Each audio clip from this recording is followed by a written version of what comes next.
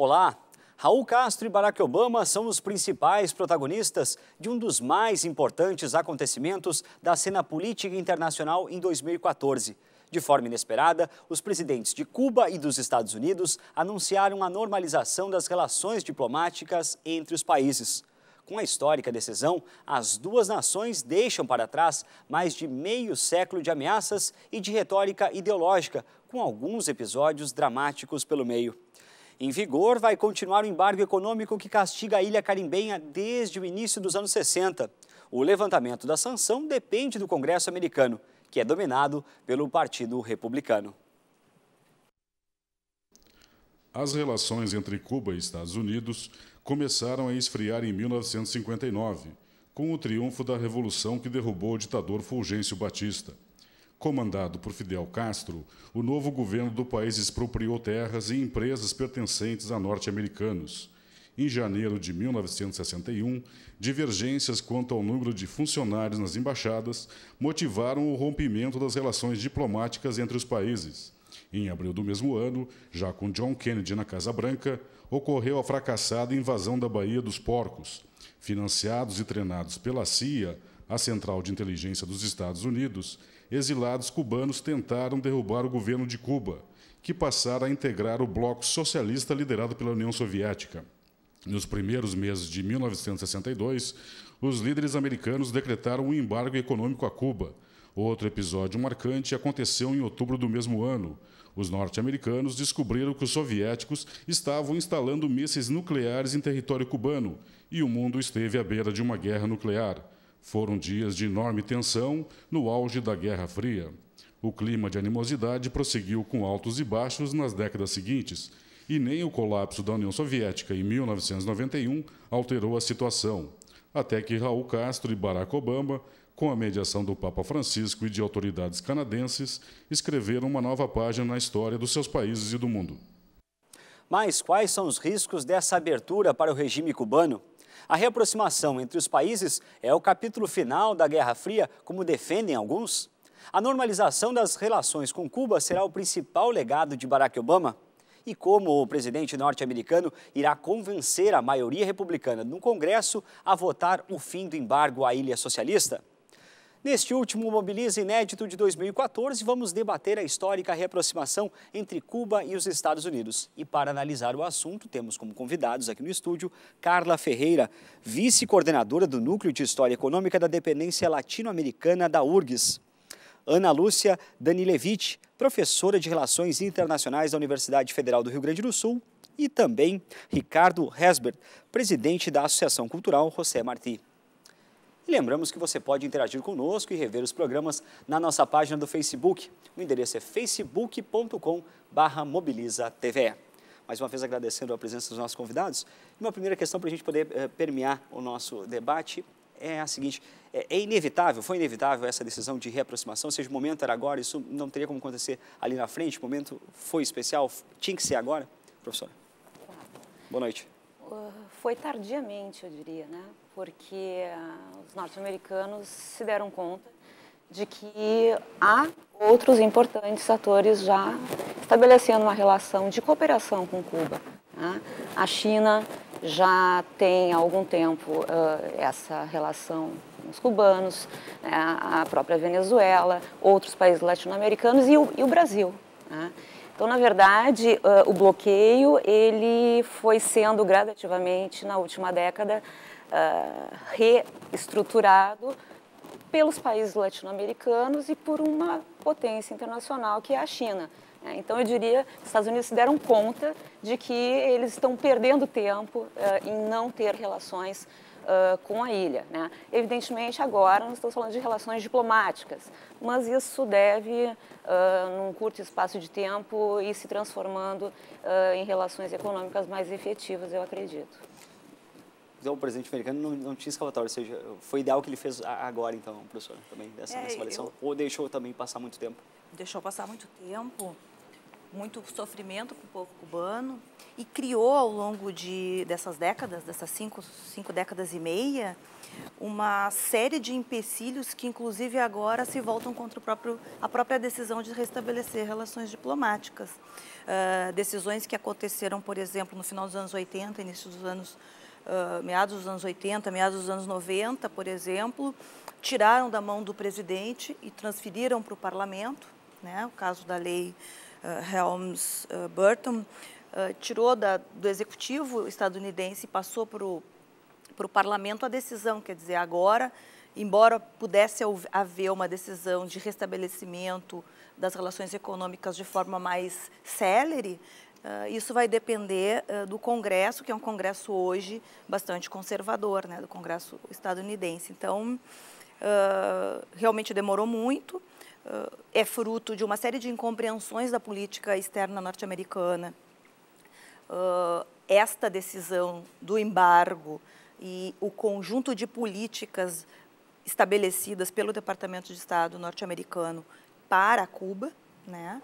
Então, é isso, é tardio e ela agora vai enfrentar as dificuldades que ela mesma criou ao longo dos anos para a normalização das da relações. Espera, em função da demora, agora também vai, vai colher esses, esses frutos por essa espera, então, nesse sentido. É, não só a espera, decisões objetivas que foram, que agora têm que ser revertidas uma a uma, né? legalmente pela legislação estadunidense. Presidente, como é que o senhor avalia? É, eu acho que os Estados Unidos uh, percebeu que após 21 Assembleias Gerais da ONU que condenaram o bloqueio e que só ficou os Estados Unidos e Israel contra o termo do bloqueio, né, percebeu que não dava mais. Né? Esse é um ponto. Uh, o outro ponto é que, como a professora Ana colocou e, e a Carla, uh, os Estados Unidos ficou isolado nesse processo. Né? Outros países, em termos de geopolítica, viram que Cuba é fundamental, até pelo seu sistema criado pela Revolução, que é diferenciado dos demais. É uma ilha isolada no, no mundo. Né? E Cuba já estava aberta para o mundo. Né? O, eu sempre digo que o mundo que estava fechado para Cuba né? E aos poucos foram se abrindo. E os Estados Unidos, o último agora a reconhecer de que não dá para ir contra uma decisão de um povo, de uma nação, né? que é a sua autodeterminação. E, mas o que eu imputo na decisão que houve né, por parte do presidente Obama e uma, uma negociação que estava havendo já há mais de ano, é, foi a libertação dos três prisioneiros que ainda faltavam, né, que estavam presos uh, politicamente por parte dos Estados Unidos. O Ramon, o Antônio e o Gerardo, que de duas cadeias perpétuas, conseguiram definitivamente a sua liberdade. Isso foi fruto né, também de uma mobilização internacional, da solidariedade internacional. Uh, e que os Estados Unidos, e através né, da figura do presidente Obama, e a gente tem que reconhecer que ele teve um gesto humanitário Evidente que tinha também um cidadão estadunidense preso né, por espionagem, por tentar uh, fazer com que a Revolução Cubana caísse, o Alan Gross, foi trocado por esses três. Mas é um dos gestos que eu imputo como um dos maiores dentro desse processo nesse momento, já que o bloqueio, como a Carla também referiu, depende de decisões do próprio Congresso estadunidense. A gente sabe que não é tão fácil assim demover principalmente a parte republicana, que tem muitos representantes cubanos, americanos, que têm a dupla cidadania, né? que não estão muito contentes porque eles ganham com o bloqueio. Eles se beneficiam economicamente com o bloqueio. É, a gente chama a máfia cubana, que é muito bem retratada por vários livros né, que a gente tem aí à disposição. Então, acho que veio tardio, mas a gente está enaltecendo a decisão, porque não, não, não se admitia mais esse tipo de situação uh, nefasta, genocida, porque esse bloqueio provocou mais de 3 mil mortes através de, das políticas restritivas de relação comercial, como também na questão da integração dos povos que são amigos, são irmãos, enfim. Eu tive a possibilidade de participar de um 4 de julho em Cuba, no ano de 2002, que é o dia da independência estadunidense, onde teve um show no Teatro Karl Marx em homenagem ao povo estadunidense. Quer dizer, o povo cubano distingue a política aquela feroz, né, de, uh, de ataque né, à sua nação uh, muito bem nesse sentido. Então, eles estão em festa porque estão tendo a possibilidade agora de retomar essa relação. E, professor, os reflexos na ilha, como é que o povo cubano deve sentir, a partir de agora, essa nova relação com os Estados Unidos? Olha, eu acho que é algo que nós vamos ter que acompanhar, porque um, ao longo dos últimos tempos uh, há, né, e eu diria que isso não vai ser rompido de uma hora para outra, um fomento muito grande a uh, o desenvolvimento de uma oposição interna. Né? Então, assim como os cubanos americanos eles uh, se beneficiam dessa dessa realidade política regional, uh, essa oposição interna também vai se beneficiando. Então, eu diria o seguinte, que aquele o cubano né, que, que entende uh, a importância do que foi o processo de revolução e o sistema que ali se estabeleceu, né?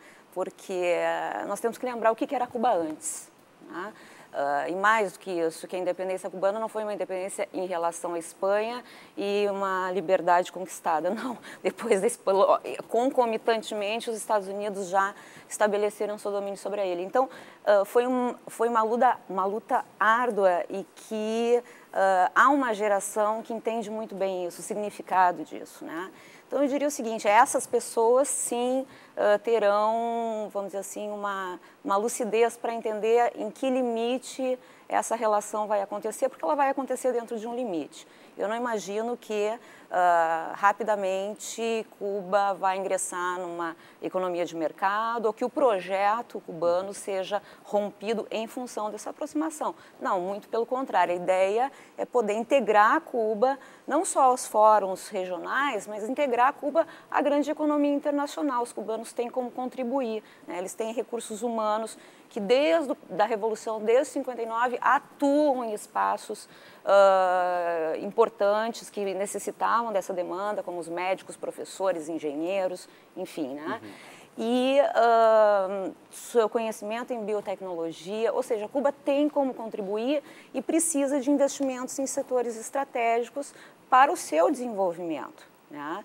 Então, uh, me parece que a população cubana percebe a importância disso, né, sem com que isso represente um abandono do projeto. Nós temos que entender hoje como é que os países que são uh, socialistas né, podem se integrar a uma economia internacional através de um esquema de cooperação que não necessariamente significa a rejeição ao projeto. Né? Então, a população cubana tem essa, essa dimensão Uh, e eu acho que isso deve ser um ponto importante para que o governo possa interagir a, a partir de agora, né? E, professor, essa integração também interfere também, eh, principalmente nos cubanos, por exemplo, que vivem em Miami, na comunidade eh, cubana que ocupa a Flórida, né? Pois é, eu estava vendo a Ana falar e estava pensando um pouco aqui. As, uh, eu penso que uma das grandes um dos benefícios que a gente pode esperar também desse, desse processo de reaproximação é a oportunidade de se discutir de uma forma e se informar a população, inclusive brasileira, de uma forma muito mais honesta sobre o que foi o processo cubano, né? como que historicamente se deu isso e como esse povo, como dizia a Ana, tem o direito de fazer a escolha do regime que quiser. Porque o problema é que a, a derrubada do embargo econômico esteve historicamente condicionada a uma ingerência política à, à autodeterminação do povo cubano. E, como disse o presidente Barack Obama, essa estratégia, essa tática e essa estratégia faliu. faliu. Não sou eu que estou dizendo, embora tenha dito isso inúmeras vezes, sempre que pude me posicionar sobre o tema de Cuba, não sou eu que estou dizendo é o próprio presidente Barack Obama que reconhece. 50, mais de 50 anos depois, ele não chega a fazer essa defesa da autonomia. Ele diz que a estratégia americana de exigir uh, que, o, que o regime cubano se adeque às regras estabelecidas desde os Estados Unidos não funcionou e que o embargo econômico não, não, não conseguiu ser suficientemente uh, persuasivo para fazer uma mudança de regime no, na, em Cuba.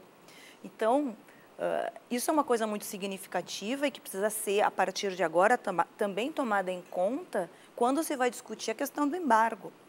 Que agora o que entra em pauta é o tema de como que se derruba as restrições econômicas à ilha, uma ilha que fez uma revolução, a primeira revolução socialista da América Latina, que foi protagonizada por uma, uma juventude média urbana, mas em, em num primeiro momento, como a gente vai ver inclusive uhum. no filme que eu selecionei para trazer para vocês, mas que de, logo em seguida passa a ser hegemonizada pela classe assalariada trabalhadora urbana e rural, que tem um processo em várias fases. O processo, a Revolução Cubana não é um, um todo homogêneo, tem momentos, diversos momentos. As imagens que a gente vê, inclusive, eh, que, a imprensa internacional muito explorou ao longo desses anos, de, eh, de, exilados cubanos, de, de, cubanos saindo pela, pela uhum. costa, chegando de barco na costa estadunidense. Tem toda uma explicação em cada contexto, os três êxodos, os êxodos que aconteceram, e cada momento com motivações diferentes, inclusive.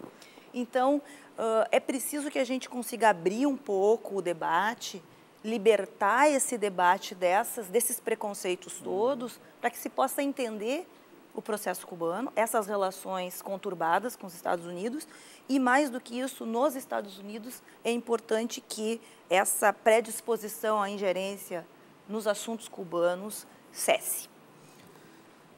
Os desafios são muitos e a gente vai voltar a tratá-los no segundo bloco. A gente vai para um rápido intervalo do Mobilize e nós já voltamos.